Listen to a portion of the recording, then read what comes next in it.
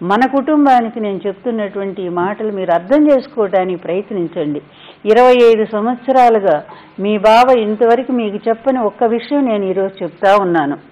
మా అయిపోయిన తర్వాత మీ నాన్నగారు చనిపోయిన తర్వాత చంద్రబాబు నాయుడు నాకు ఫోన్ చేసి చాలా డబ్బు ఇస్తాను ఫారిన్లో మీ అబ్బాయిని అక్కడ చదివించుకొని మీరు అక్కడ సెటిల్ అవ్వండి మీరు వెళ్ళిపోండి మీరు ఎంత డబ్బు కావాలంటే అంత ఇస్తానని చెప్పి ఫోన్ చేశారో లేదో ఒక్కసారి మీరు అడిగి చూడండి బాలయ్య బాబు.